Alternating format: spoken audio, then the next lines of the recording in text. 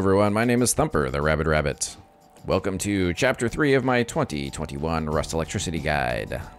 In Chapter 3, we're going to be talking about switches.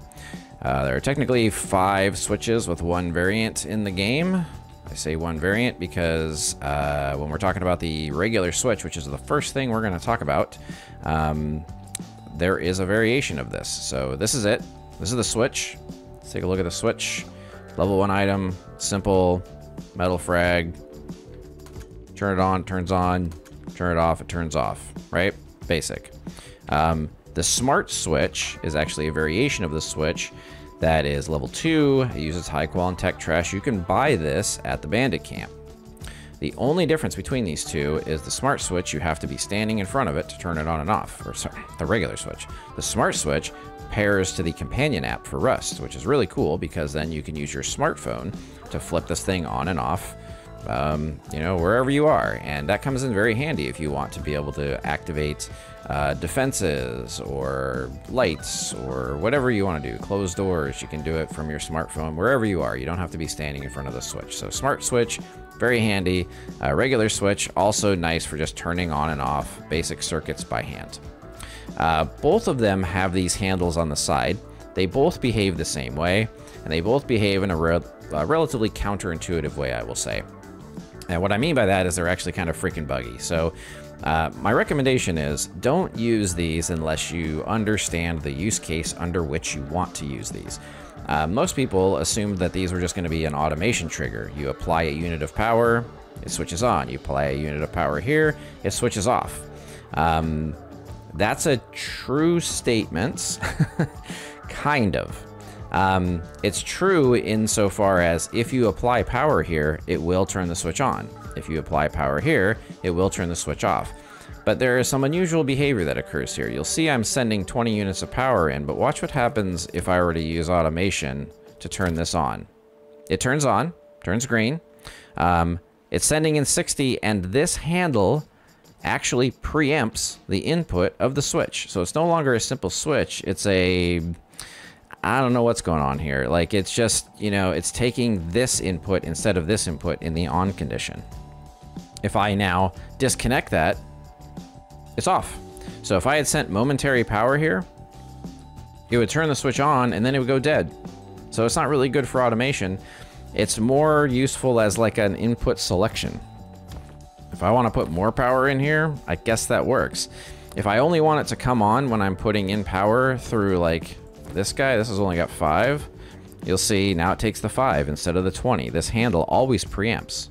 Not, it doesn't take the higher of the two, it just takes whatever you've got connected here. And if you disconnect it, the switch is dead. I mean dead dead, like even manually it doesn't work anymore until you disconnect its input and hook it up again. Now it works.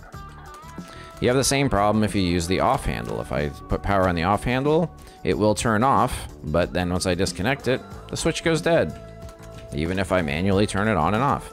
This same thing happens with the smart switch, so use extreme caution about how you're using these handles. There are specific scenarios where this could come in handy, but be certain of how you're using this because otherwise you're just going to have a bad day. Um, don't at me with, hey, it doesn't work when I turn it on, it doesn't take my power input. Like, I know, that I just told you, it doesn't fucking work right. So um, use it as a dumb switch. Uh, use the smart switch with your smartphone. Um, don't use these handles unless you know what you're trying to accomplish because they have a very limited application. They're not simply, you know, click it on, click it off type of automation tools. All right. Well, great. Now I've blown five minutes of this uh, walkthrough on just the smart and dumb switch of the simple switch uh, variations. So let's get on to other things that are more interesting and actually more valuable. Uh, the next switch that we'll talk about is the AND switch. Let's see, where's our AND switch? There it is. Level 2 item. It's only metal frags, though, so still cheap to get. Um, again, logic gate uh, activates if both are in both inputs are powered, and it takes the greater of the power source. So this is handy for a couple things. First of all, it must have A, nope, not working, and B. Boom, there we go. Take one off, turns off. So this is a great conditional switch to use whenever you want things to turn on only if two things are true. So it has to have A and it has to have B. Both, and it's true. And it takes the larger of the two inputs. That makes this a really valuable component in big circuits because you can use the AND switch as a power booster. Um, I'll show you a demonstration of that right here. I put up one with an HBHF because that's where you'll have a really uh, important uh, reason for using this for power boosting. Uh, but just know that the AND switch means A and B must be on for this to be true, for there to be output, and it takes the larger of the two, okay? Now the OR switch, by contrast, only needs one side, A or B, not both, A or B. So if I put A on here, it works. If I put B on here, it works. If I put both on here, it works. And it does take the higher of the two in this condition. So if you had a scenario where you've got two different power sources and you want the circuit to work, if either of those circuits are on, so maybe you've got a whole power generation plant coming in one side and another whole power generation plant coming in the other side with batteries and whatever, and you want it to run your turrets. If either of those gets blown up, it still works because you've got redundant power coming in on both of these. That would be a scenario to use an OR switch, okay? But it works if either of these are on, and it will use the larger of the two. Um, by that I mean if you said, had like a large battery here and a small battery here, so 100 here and 10 here, it's going to use the larger of the two. But if you disconnected the large battery, it's still going to use the small one because as long as one's true, you're good to go. So uh, hopefully you're still following me. And as both inputs have to be on or switch, it'll use either of them. In both cases, they use the largest input available. Okay. Now, uh, here's a demonstration of power boosting. Um, say you've got this turret here, like this. There's actually a turret right here. No shit, you don't even have to imagine it. Uh, but a turret needs 25 rust watts to operate. Let's say you wanted this to be activated by this HBHF sensor. Now, we'll cover HBHF sensors in a future chapter, but the way an HBHF sensor works is no matter how much power you're putting into it, it outputs the number of rust watts equal to the number of people that it sees. So right now, it sees me. It sees one. So if I, I don't know why I have an OR switch here, but what the hell. Um, so if I turn on A or B here, it's gonna make this uh, circuit turn on, the light turns on, it powers up the HBHF, and because it sees me, one person, it's to output one rust watt. Well, one rust watt is not enough to turn on a turret. You know, 20 is not enough. If it saw three people here, it still wouldn't be enough. But the reason it's on right now is because on this side, I put in 100 rust watts through a test generator. This is where the AND switch works fantastically for power boosting circuits. The one rust watt of me standing here and making this true activates A. And of course, the AND switch takes the bigger of the two sources, which is B. So if I'm not standing here, if I back away far enough, you'll see as soon as I get out of range, the light will turn off, the HVHF will turn off, and the turret will turn off because the AND is no longer true. There's 100 coming in one side and zero coming in the other. Turret is off. Or I guess SAM site, right? Um, however, if I walk up close and I add the other unit of power here and make this true, now there's 100 units of power going through so I can power a few of these SAM turrets, all right? Uh, same's true for anything else you've got, whether it's, you know, auto turrets, SAM turrets, doors, lights, whatever. Um, you standing here providing one unit of power is not going to be enough to power anything useful, but it is enough to make this a true statement, and you could be putting in 500 units of power here and powering lights, SAM sites, turrets, everything, right? So as soon as it sees you, hundreds of power goes through here and turns on everything you want. So that's why the AND switch is incredibly valuable for logical circuits uh, when you want to work off of triggers like an HBHF or a laser sensor or a pressure pad or anything else that just puts out a small amount of power that you wouldn't necessarily pass through to everything. Now, those devices, you can pass through more power, but the HBHF, you can't. It does depend on how many people it sees. So you're almost certain to use an AND switch after an HBHF if you're doing any type of logical processing of uh, devices. Okay, so we covered the AND, we covered the OR. Um, let's talk about the XOR companion to this. So the XOR, here it is. Uh, this is an exclusive OR logic gate. That's what the XOR is, exclusive, or uh, basically a NOT. Um, if both receive power, no output. Okay? So, unlike the AND switch that needs A and B, or the OR switch that can use either, the XOR switch you, works if and only if 1 is true. So, if A is true, it turns on. There we go. If B is true, it turns on. If A and B are true, it turns off. That's the exclusive OR. You can't have both on at the same time. Okay? Now, I put a blocker next to this here because uh, a lot of folks like to call out that the blocker and the XOR are the same. That's not entirely true. And I actually set up an example over here. Um, it's kind of dumb, but it'll make the point. Um, the blocker does, in fact, stop power if both of these are turned on. It blocks power if only this one is turned on. And that's the difference. With the XOR switch, if either of these are true, it passes through that power. In the case of the blocker, though, uh, which we'll cover in a later chapter here, it passes its input power if and only if this block pass-through handle is not true. See, now we're blocking. Now we're not blocking. Now we are blocking. But it's not either of these that can turn on the circuit. I should hook up the light to prove that. See, if this were an XOR, it'd be on right now because we're putting power in one side, but that's not true. If I put it here, light comes on. If I put it here, no light. If I put through both, no light. So not quite the same as the XOR. So for everybody out there who loves to razz me about these being the same, they're not the same.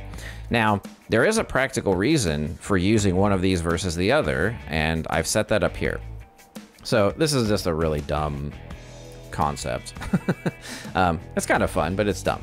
Uh, what I have is an HBHF that opens my door for me when I want to leave. Like when I get close to the door, it sees me. It's set to authorized only.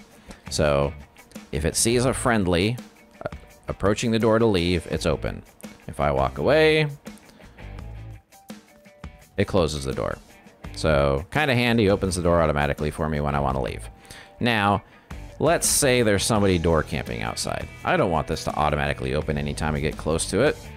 So I put an HBHF outside that's set to trigger off of other people, unauthorized people. Now, I'm going to spawn another entity player here. Hopefully this will work. There we go. So now it sees an unfriendly. Now that unfriendly is putting in power to this side, and my friendly HBHF on the inside is putting power to this side. Sounds great, right? If it sees me, it tries to power on the door, but if someone, if there's an unfriendly outside, they would trigger the other side and prevent the output from opening the door. Sounds great, right? Well, here's where the XOR is not the same as the blocker. If I walk away, guess what happens? It goes from both being true to one being true, and now suddenly an enemy can open the door.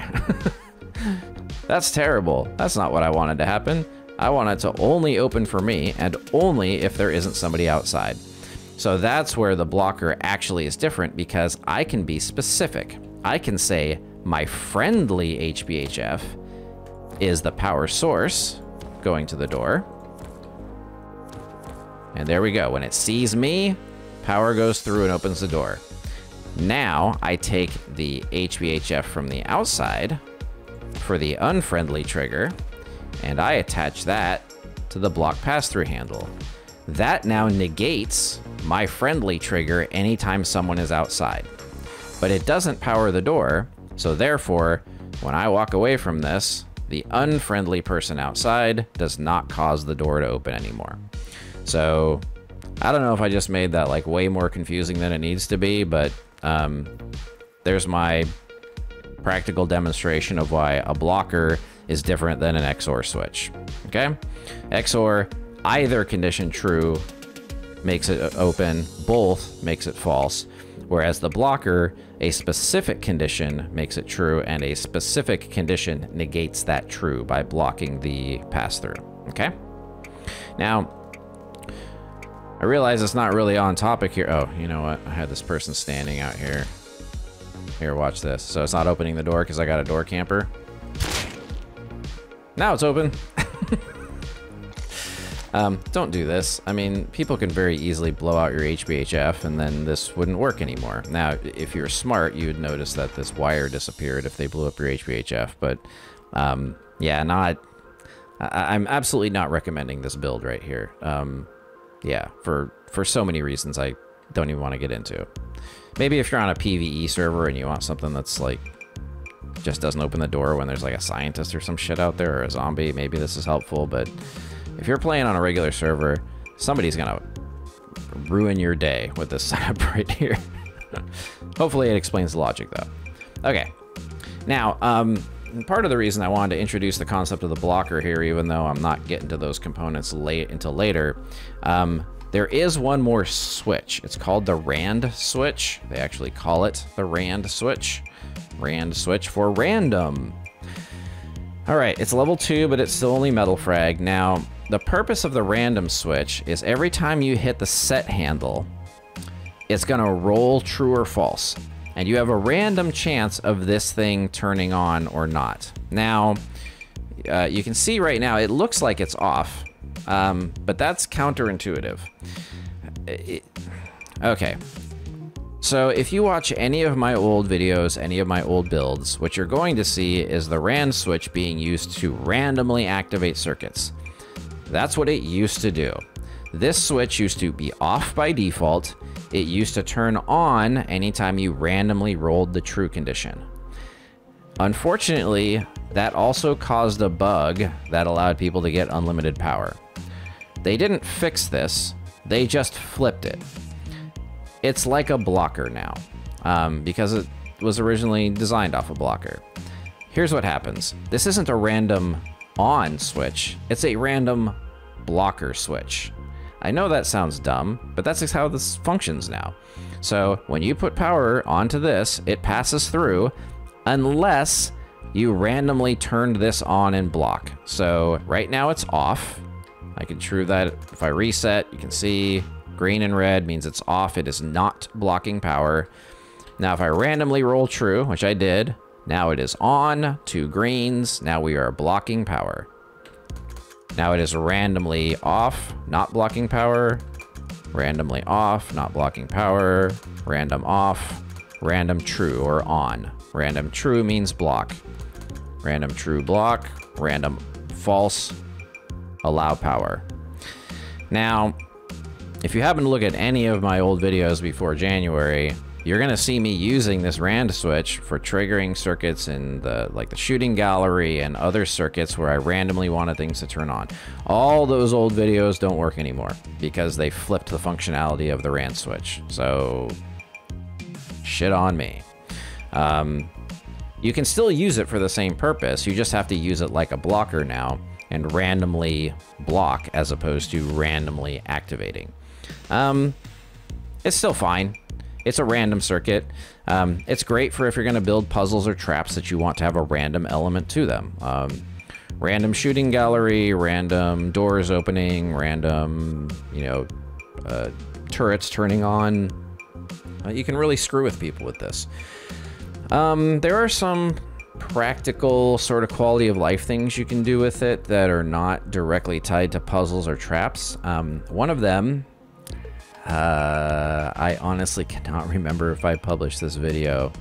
Um, I did actually do a test build once of a base that had HBHF sensors all around it.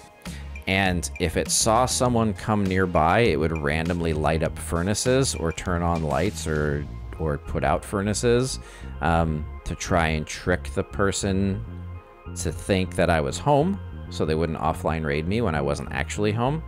Um, it it was helpful because when because it's random, people will walk up to your base and hear nothing, and then they walk up to it again, or they walk around to the other side, and then so, suddenly something happens.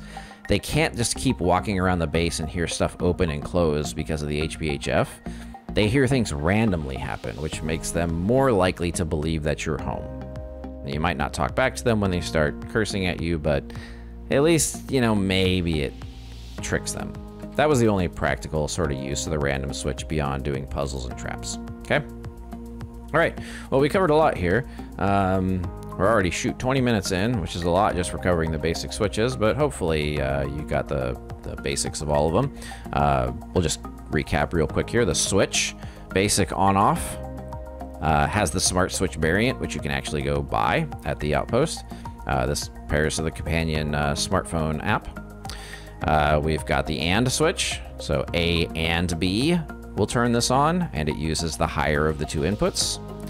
We have the OR, A or B will turn this on. Again, it'll use the higher of the two if they're both connected, otherwise it just uses the one that's connected. Uh, common use of the AND switch is for boosting power from a conditional, like an HBHF can make this true and pass through a bunch more power. You've got the XOR switch, where it'll turn on if A is turned on or B is turned on, but not if they are both turned on. Uh, and we'll get to the blocker again in a future video, but same kind of functionality, but specific conditionals as opposed to either of them being a conditional. All right. And then finally, the last thing with the name of switch is actually the rand switch, which is actually like a blocker that you can randomly activate and randomly deactivate. You're just rolling the dice here. You got a 50-50 chance of whether or not this is going to block power. Okay. There you go. That's about all I can tell you. Five switches, technically six if you're counting the variation of the smart switch. Great for uh, logical uh, components, logical circuit building, and for boosting power, which you're probably going to need. So good luck, and don't suck.